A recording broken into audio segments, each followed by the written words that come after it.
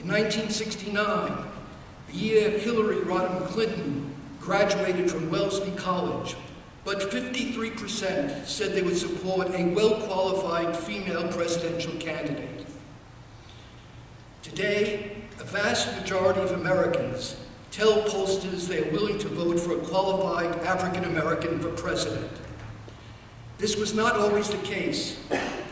In 1958, 51 years ago, when Gallup first asked a version of this question, a majority, 53%, said they would not vote for a black candidate for president, period. In 1984, 25 years ago, 16% told Gallup they would not do so. However, in 2008, an, over, an overwhelming, an overwhelming 92% said they would vote for a qualified black candidate for president.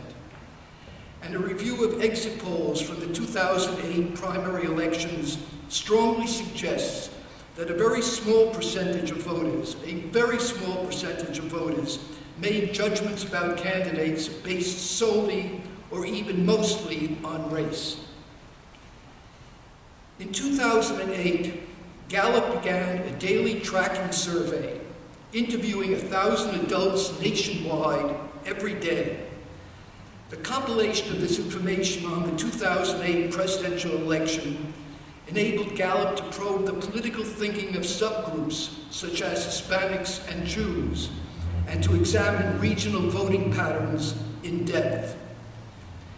In 1936, Gallup asked approximately 50 questions about that year's presidential election. By the 1960 presidential election, the number had jumped to about 150 questions. In the 2008 presidential election cycle, using the latest electronic technology, Gallup asked more questions than, than were asked in all the 1936 2004 presidential elections combined. These surveys stand as a testament to George Gallup's vision and commitment of learning and reporting the will of the people, the pulse of democracy. Of the 56 presidential elections in American history, the 2008 contest must rank among the most exciting the most compelling, and the most important. When the campaign began in late 2006, no one could have predicted the remarkable path-breaking events and turnabouts that followed, concluding with the election of Barack Obama. The campaign marked many firsts. A biracial man, Obama, and a white woman, Hillary Clinton, competed against each other for the Democratic nomination. Also, Sarah Palin was the first woman to run for vice president on the Republican Party ticket. Obama, 47 years old, became the first African American to win the nomination of a major political party. In contrast, his Republican opponent, John McCain, at age 72, was the oldest person ever to run for president on a major party ticket.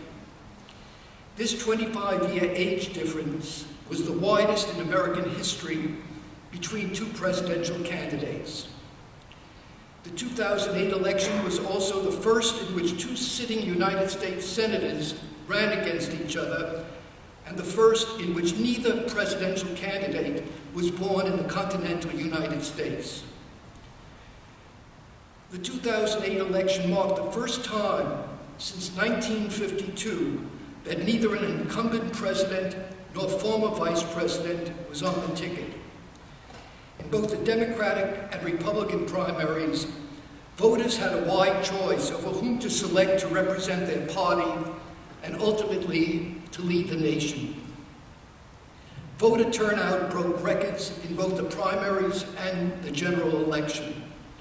And throughout the entire process, the Gallup poll tracked the views, attitudes, and preferences of Americans with respect to dozens of issues relating to the presidential campaign. The 700-page volume that we have compiled, and which will be published next month, is an extraordinary compilation of public opinion polls and political analysis of the 2008 presidential campaign. Gallup's election analysis shows that Democrats were more energized than Republicans. In Gallup's final poll, 73% of Democrats and independents leading, leaning Democratic said that they were enthusiastic about voting, compared with about 59% of Republicans and independents leaning Republican. Obama's victory is owed in part to an extraordinarily high support from blacks.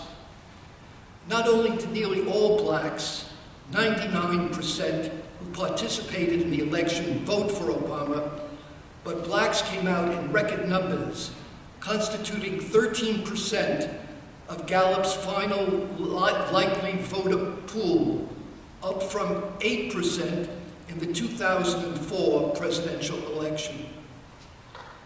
Obama won greater support than his Democratic predecessors from highly educated voters. He attracted significant new support from middle-aged voters. In addition, far few voters considered themselves Republican in this election than did so in 2004. The resulting more pro-democratic political climate in the country may also be a reason why Obama won. Obama's victory over McCain concluded a, a race that was highly competitive throughout the year. The two were essentially tied during the primary season, that is from March through, uh, from March through May 2008. Obama moved slightly ahead of McCain once he clinched the Democratic nomination in early June. McCain then succeeded in overtaking Obama after the Republican National Convention in September. McCain held this lead for 10 days, from, from September 7th through September 16th. But the onset of the Wall Street crisis in mid-September helped shift voters back into Obama's column. And this Wall Street crisis appears to have been the turning point in the campaign. The presidential debates during the fall were McCain's best opportunity to reverse Obama's growing momentum.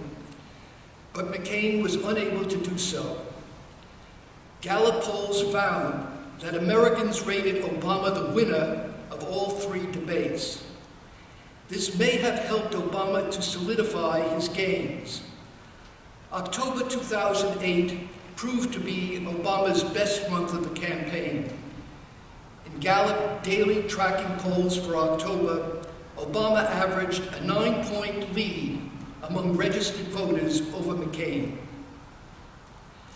The last surprise in the surprising presidential election contest was that there was no surprise on election day. Obama had an easy win as late as mid-September, analysts and the public and the American public itself were throwing up their hands, saying, we can't figure out this election. There are too many intangibles. Well, things changed in late September, throughout October, and right up to election day. The Wall Street meltdown mattered, and the presidential debates had an enormous impact on the perception of the candidates. Over the course of the three debates, the public became more comfortable with Obama. An increasing number of voters came to see him as qualified to be president. Furthermore, after the third debate, a growing number of voters said that McCain was just too old to be president. Views of Sarah Palin also contributed to questions about McCain's judgment as the public got, as the public got to know more about the Alaska governor, views about her shifted significantly.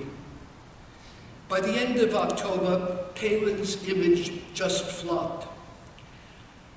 Most important, Gallup analyses going back decades have shown that vice presidential candidates have little or no impact upon voting patterns.